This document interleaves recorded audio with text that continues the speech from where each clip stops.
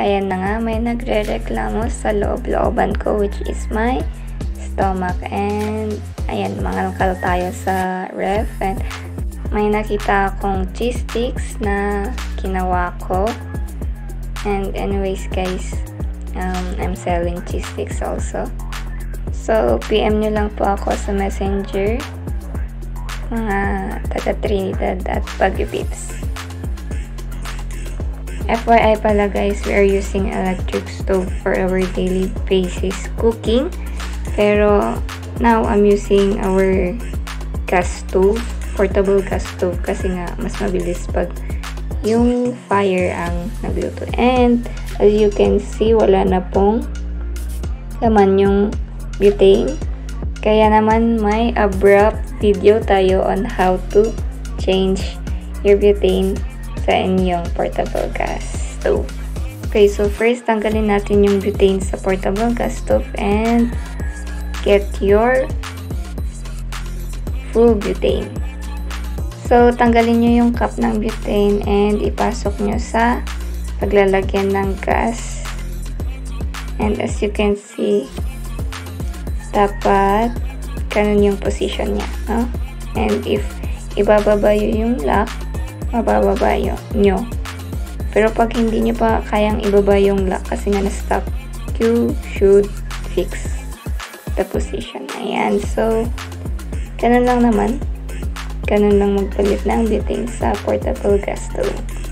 Okay, so back to cooking our cheese stick. Dapat marami, medyo marami yung oil and dapat mainit muna yung oil bago nyo ilagay yung cheese sticks. And let it cook.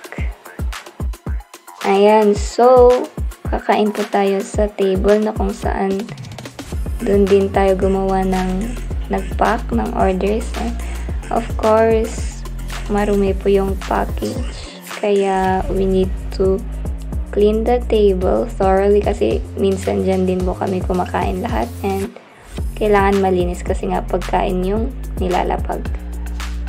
And ayan na nga, kakain na po ako. Yum! Ayan, so ang ulam ko po is munggo and yung cheese sticks na niluto ko with ketchup. Tomato to be specific kasi nga favorite ko yung tomato ketchup kesa sa banana ketchup. Ayan, so ganyan po ako kumain. Walang cellphone, only yung pagkain kasi nga pag nagsa-cellphone ka, syempre, yung hygiene din. And, and nga, I need to focus in eating para naman ramdam mo yung busog. Done! Ayan, so, pagkatapos kong kumain, pinak ko na yung mga items sa bag. And, ina-drop ko sa DA. So, lalabas po tayo ng bahay, kaya naman, we need to apply sunscreen. So, this time, I'm using the products of her skin. So, ito po yung Sun Defense. And, kabibili ko lang po siya recently. And this is my first time applying their products. To be honest, I don't know how to react po sa mga skincare products. Pero, ang masasabi ko lang po sa Sun Defense cream nila is the cream is not thick and madali po siyang ikalat or i-apply sa mukha. So, after I apply their Sun Defense, mag-apply po ako ng tone up cream nila. And guys, sobrang bango talaga. Hindi lang po sa cream, pero pagkabukas mo pa lang ng item is sobrang bango. Ayan, so ganyan po ako mag-apply. Um, dots, dots lang po. And then, pahid, pahid, pahid. With my hands. And magpaganda sa harap ng camera. Next naman po is nilalagyan ko ng tint sa mga parts po na nakita nyo sa mukha ko para naman po magkakulay yung mukha ko. And I'm using a sponge para spread po yung kulay ng tint sa mukha ko. Okay guys, so hindi ako naliligo every time na lumalabas ako kasi nga nasanay ako nung pandemic na maligo every time na umuwi. Kaya nga lang, dry kasi yung buhok ko kaya naman I need to have any cap or hat para makover ko yung dry hair ko. Especially sa may tuktok kasi nga tumataas yung mga baby hairs ko. Guys, believe me or not, noon hindi talaga ako makakalabas ng bahay. Hindi ako naliligo. Pero dahil nga sa 2 years na pandemic, yun, nasanay na akong maligo pagka uwi.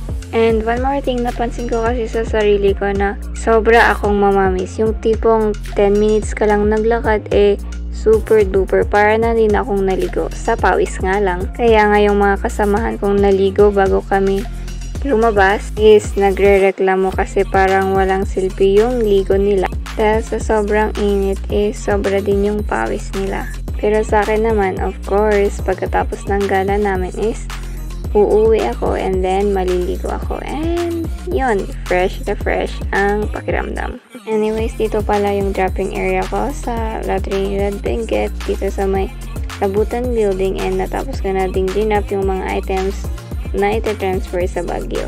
So, dahil nandito na ako sa highway, mamimili na din ako ng prutas at gulay for my food business. So, kailangan ko lang naman ng pipino, ng carrots, ng mangga at lettuce and bumili na din ako ng siling haba para sa dynamite. Ayan, so pauwi na ako and dumaan ako sa may kalsada na walang jeepney na dumadaan para naman kalma lang. Kalma lang yung paglalakad. Okay, so dito po yung papuntang sa amin and there siya pataas papuntang langit. Char! Nakakapagod man sa inyong paningin pero at least nakaka-exercise naman kami every time na lumalabas kami and umuwi kami. Ayan, so yan lang po ang aking errand for today. Nakauwi naman po ako ng safe and sound and marami pa ring pawis. Haha. Ayan, so paganda muna sa camera. Yes, nakabili na po ako ng mga gulay and prutas. And pagkatapos na naligo na din ako, sabi ko sa inyo eh, naliligo kasi ako pagkatapos na ng lakad ko. And ayun, thank you for watching. See you again sa next video. Bye!